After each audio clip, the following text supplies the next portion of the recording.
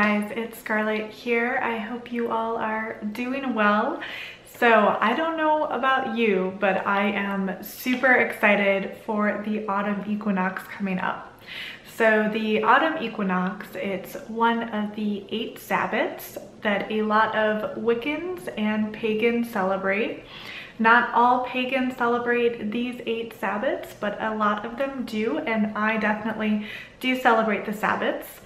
And this autumn equinox, it's also known as Mabon. So you'll see it referred to as either the autumn equinox or Mabon. And it falls in the middle of the harvest season and it's usually between September 21st and 23rd. And that's in the northern hemisphere. So if you're in the southern hemisphere, it would actually fall around March 21st. And this is a really interesting time of the year because the sun is entering the astrological sign of Libra, which is represented by the scales as its symbol. And I happen to be a Libra, so shout out to all of my fellow Libras out there. And it's an interesting time because just as the scales in Libra are balanced, so are the time between night and day. Because it is the autumn equinox, this is a time when the hours of daylight and nighttime are equal. So it's that also makes it a really good time to evaluate how harmony and balance are at work in your own life as well. And it's also neat because this is the time of the year when you really start to notice that the nights are becoming longer and that the daylight is kind of losing its battle, as it were, to nighttime. And this is going to continue all the way until the solstice, which would be Yule. So from the time of the autumn equinox or Mabon through Samhain and then all the way to Yule, you're gonna notice that the days are considerably getting shorter and the nights are getting longer, which means this is really a time that you can start to think about um, really kind of, uh, I don't wanna sound morbid, but you're kind of, it is kind of a time of, of death or, or thinking about death, right? I mean, the plants are dying, the leaves are falling, and while it's beautiful, it is in a way a memento mori or a symbol uh, for us to think about our own lives and the short amount of time we have on earth. And one of the interesting things about paganism, and maybe it's just true in, in my own practice, but as a practicing pagan, I've become more comfortable with the concept of death because so much of my spirituality is tied towards the seasons and that cycle. I am very invested in that cycle. So I do notice when the plant life is dying, but then also I'm equally noticing when it is reborn and that sense of rebirth in the spring. So the wheel of the year in general and a close observation of it has led me to become kind of more comfortable, I guess, with the concept of death. And here at Mabon, you kind of start to see that and it really culminates with Samhain, which is a celebration of, of kind of those that have passed on. And you see that not just in, you know, contemporary neo-paganism, you see that in a lot of harvest festivals throughout the world, like Dia de los Muertos and things like that. So here at the autumn equinox, we're really kickstarting that recognition, that time to notice the impermanence of our own life and to appreciate its beauty and to appreciate the beauty of the earth as well in all of its forms. So this is also a fun time too because a lot of people consider Mabon the witch's Thanksgiving. Um, and that makes it too a time that we do count our blessings.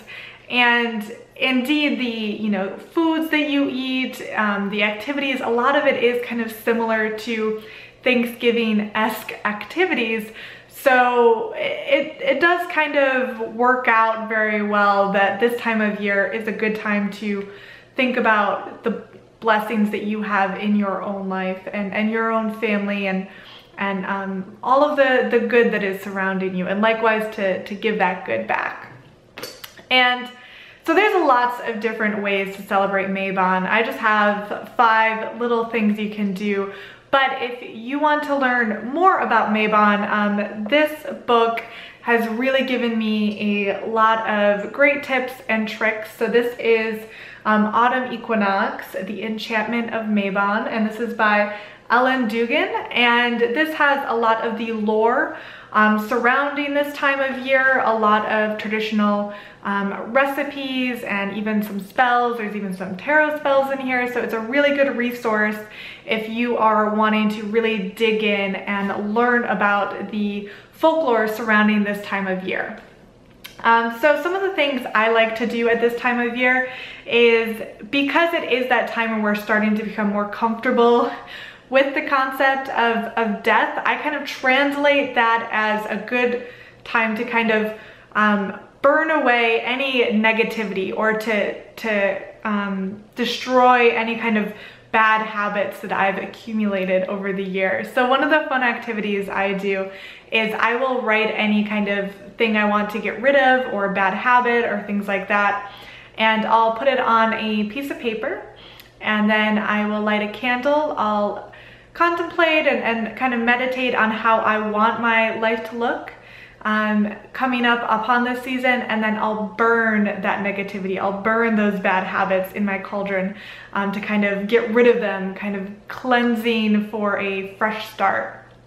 And another thing that's kind of similar to that is this is a really good time to declutter in general, to kind of give a sense of freshness into your life. So this is also the time of the year that I go through um, mostly my closet and I pick out any items that I didn't end up wearing during the summer um, as I'm kind of switching out my closet from summer to fall and then I will donate any of the items that I no longer um, need and that's also kind of just a, good way to to kind of bring in that sense of, of Thanksgiving for all is, as I kind of try to to donate a lot of stuff that I don't need at this time of year.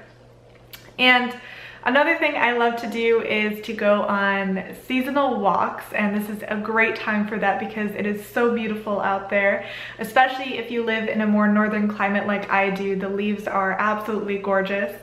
And I like to collect little um, autumnal things, whether it's like Indian corn, pumpkins, gourds, acorns, things like that, leaves, and then I'll bring them into my home to decorate, kind of just bringing that sensation of autumn into my own life.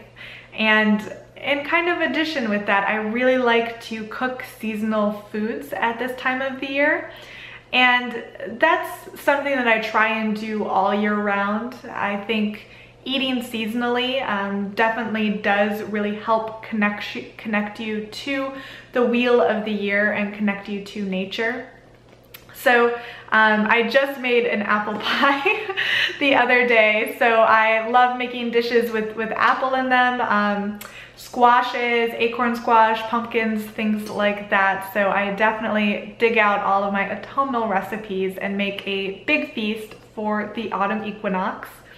And I also like to um, kind of just bring the scent of autumn into my own home as well. So sometimes that can be like burning autumnal candles.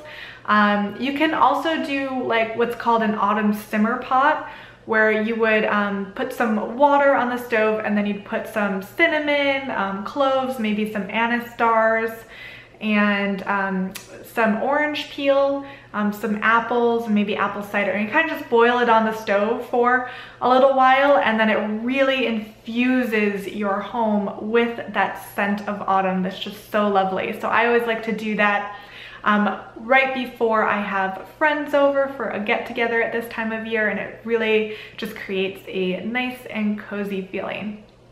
So those are just a few of the little things I do to celebrate the autumn equinox, but there are so many great ideas and activities out there, so I really wanna hear from you guys. I wanna know what you like to do at this time of the year, what autumnal activities bring you joy, and how you celebrate Mabon. And I hope this brings a little joy into your heart today. And uh, I won't be able to do a video next week because I will be in Italy. Um, but the following week, I will be doing another video for you. So stay tuned till then, and I'll talk to you later. Bye.